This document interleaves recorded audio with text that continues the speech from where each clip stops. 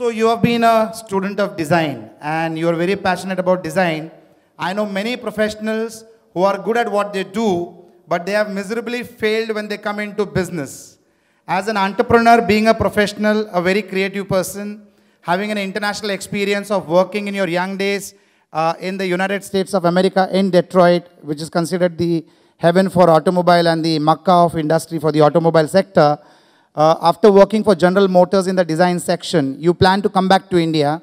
You start your accessories business, which you successfully run it for 10 years. There you understand the customers' moods, the thoughts, the taste, their needs, the budgets. And then you think of venturing into the design sector of automobiles. What was your thought process during this journey from being a student to an employee to an automobile uh, accessories dealer to an entrepreneur? Okay, so I think it starts uh, with the basic tenet of your passion. And uh, I guess, um, you know, looking back, uh, one has to have obsessive passion to really do something that he enjoys every day of his life. And therefore, my story was that, mm, like most uh, youngsters who go on to get educated in the West, because there was no such course in India, uh, forget such a course, but there, was no, there were no job opportunities as well. I'm talking of the late 70s, where the automotive industry really was only the Fiats and ambassadors, and there was no incentive, in, there was no incentive to really put new cars on the road. In fact, uh, the government did not allow any new car manufacturing uh, to happen. Uh, I don't know if some of you know, but there was a penalty even if you produce one car more than you were licensed, and the license capacity was 35,000. So it was from that era that one went abroad and stayed, stay, you know, he, you, you actually took up a job in one of the um, great brands, General Motors, Ford, and so I worked with General Motors. But ha having gotten there, I realized that, you know, I will not be able to design a car, and that's the sole reason why I went for that course, till I attained seniority 25, 30 years into the job. And I, and I guess I wasn't willing to wait that long. And I wasn't willing to give 30 years of my life in building General Motors brand equity. I think coming, coming from an entrepreneurial family, I thought let me go back and be the master of all that I survey. And that's how I started the accessory business because that's the closest I could get to cars. Uh, because in the late 70s, if, some, if I went to my parents or if I went to my banker and said I want to be designing cars, they would think I'm, I'm a lunatic. So you're not an entrepreneur. You're a passionpreneur who brought the skills to the table and uh, came out with a very successful organization. No, but, but my, my sense, what I was trying to say that was that when you're obsessively passionate, you want to practice your craft each day. So you build, uh, uh, you, I have had to build a company to actually, uh, uh, you know, practice my craft. Because if I did sketches, who would I go to build? There was no one.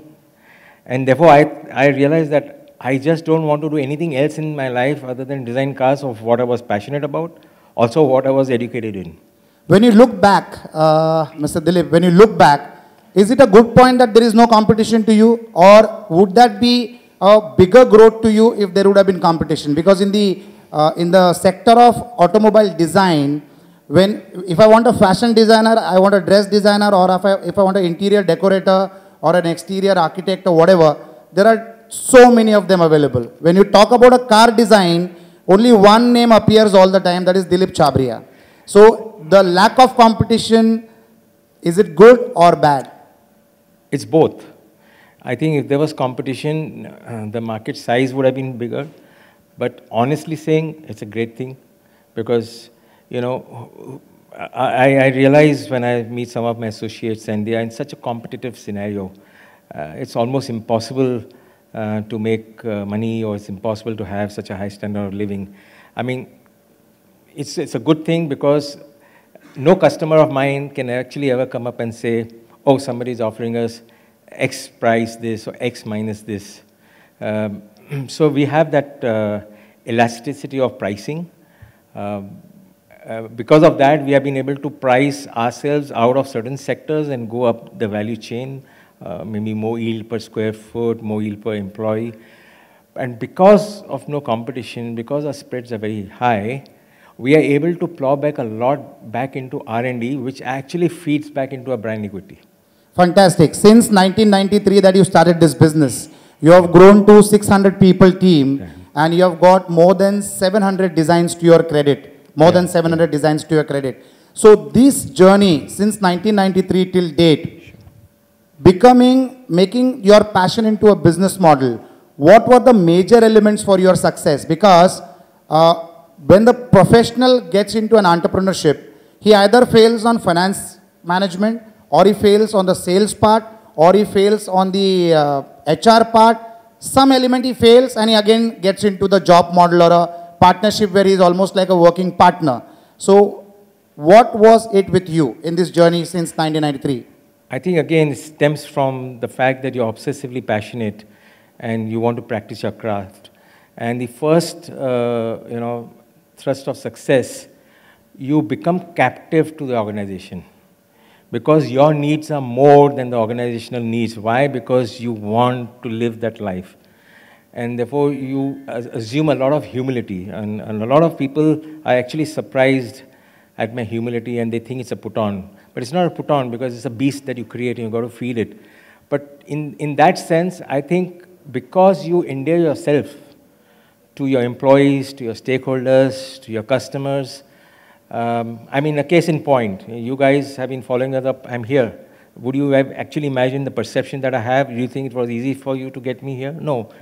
So that's the perception which is okay for, from that point of view, but why the organization worked and ticked because each one felt they were doing a great job. They were being led by a benevolent uh, leadership, not by a despotic, idiosyncratic, creative entrepreneur. So, you know, all those things put together, I think makes the organization tick. So parents give birth to film stars and other stars. Yeah, You gave birth to a hero car, Yeah. and there was a film made on it. yeah, that's Who right. gave you that idea? Was it branding? No, no, no. I mean, many a times uh, after the film was released, you know, it was a box office failure, but it was uh, the number one grossing film every single year on television, even beat, even beating Three Idiots. It's the number one grossing film. So um, uh, the producers rang me up after the first year and he said, you know, we have a major problem and people, uh, people are asking me, how much did DC pay you? Whereas it was the reverse. They paid us a lot of money because we built three cars for them. So it was as simply that they wanted to really leverage our name and our design ability and all that. So, uh, I mean, it's done wonders for us because, uh, uh, of course, uh, some of our cars have been featured in earlier films, Yash Chopra's films, and, and uh, quite, quite, a, quite a few of, of Bollywood films. But I'm really amazed at the reach of Bollywood. I'm amazed. I mean, like you mentioned, I, I go to all these Ivy, Ivy League institutions across the world and they talk about, these, about this uh, film. So I'm really amazed at the reach. You get customers who are the high and the mighty and the powerful. How do you manage them? They they are ready to spend a lot, but they are very demanding. So how do you handle the customers? There are good ones also. There are bad ones also. There is good money also. There is bad money also. You make the them the luxury one BHKs and the two BHKs on four wheels. How do you handle their pressure points as Yeah, an entrepreneur? No, I mean, it's uh, commonly said that, you know, if you can't afford a house, you go to DC because it's even more than a house.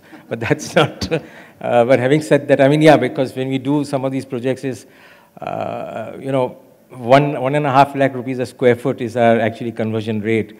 Uh, and we were trying to get into home interiors, and we realized what a shitty business it was because nobody was willing to pay even 10,000 rupees a square foot. I said, forget it. You know, you don't be in that kind of business. But having said that, I think all people who come to us, our customers, are very well informed. So they are very serious people. It's serious money, so they're well researched. You get uh, sometimes uh, arrogant people. We have to put up with them. I don't interact personally with them, and, but, but you do get uh, issues uh, when you're dealing with some, some politicians. I don't know if you know, but about three, four months back, there was an FIR. threatened. Uh, there was an FIR filed by Raja Bhaiya because we did not deliver his vehicle. His vehicle has been lying ready in my Delhi operation for the last seven months. There was a 21 lakh outstanding. He told him, clear the money and take the vehicle. He being he, he realized that, you know, he can put on the screws and make us He dance. must have felt very odd because what gets against him is doing it against somebody else. Yeah, so, So- so, you get, that's probably part of business hazards of trade. Whenever you talk about personalization uh, in any business, it is a service sector. You are in a service sector. yes. Whenever we talk about personalization, every customer who's paying big money also has got high levels of satisfaction. So you must be definitely encountering a lot of this kind of feedbacks after the product is delivered that the satisfaction level is not there. How have you trained your employees to manage such situations? Because as entrepreneurs, some of us who are in the service sector also, this is a major uh, department to deal with customer satisfaction. How do you do that in your enterprise? So we used to have these issues in the uh, earlier years of operation because we really, really did not know how to, how to handle this uh, aspect. Uh, but we've, we've learned how to manage those expectations. And I think you have to be honest to your, to your trade. If, if the product is not so good, you might as well be honest and say, you know, product is not so good, give me some more time, let me correct it. Or if it's, if it's not good, just for the sake of not good, then you have to challenge it. But most of the time, we really don't have 99.99%. You don't have a problem because at the end of the day, I think if you're, if you're doing a good job, it shows. You are one of the first people in India who converted designs into a product on automobiles. Like a design which was being done for one car, you customized it and you started mass producing it for vehicles like Innovas and the Fortuners Right. and all other vehicles. So, how do you get these ideas for expansion? How do you convert your limitations into your strengths? Uh, do you have a core think tank? Do you have advisors on board? Or is it your own thoughts? How do you derive at that? No, it's a, it's a culmination of the marketing feedback that we get and the inquiry base that we have across offices. And so we cull them, collate them, we really understand what's happening. But the underlying essence of our uh, place under the sun is that we do what a manufacturer will not do or cannot do, either because of skill or because of scale. And we, we fit in that slot uh, because, you know, manufacturers are geared to do much larger volumes. Uh, you know, they need 100,000 units. And uh, we, we would come somewhere where even 2,000 units, 3,000 units are good enough, and therefore they would not uh, be interested. We already have built that brand equity to end customer, so he is able to, uh, you know, have the confidence that we're going to deliver to him. So it all actually fits into, basically it's a sum total of market positioning, presaging the future, and uh, collecting the marketing feedback that you've had. And with the line of business that you are into, how do you see uh, expanding your marketplace? How do you do that? Do you do only advertising? It is referral marketing, or how do you penetrate the market within the India, within the country? And how could you reach out to the other parts of the world, especially Europe, where your designs have been implemented by the Sure. uh, automotive uh, majors? How do you plan to do that? How do you do that exactly? How would you convince a European brand to get you on board for getting their designs done? Because it's always a bias there on whom you get the work done from, especially the designs which, for which the companies are known for. Yeah, so at this point of time, um, we are not looking at Europe from the customizing point of view. Uh, OEM point of view. uh, we are not looking at that from a OEM point of view because we believe that India is such a huge market by itself. We haven't even seeded India in that sense.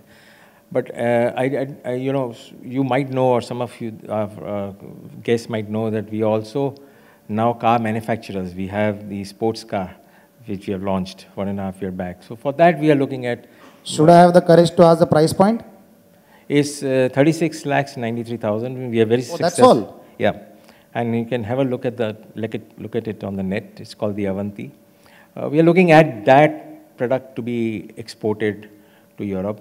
Uh, there are a lot of regulatory issues that we may have to overcome, but somewhere two three years down the line, uh, that's a distinct possibility.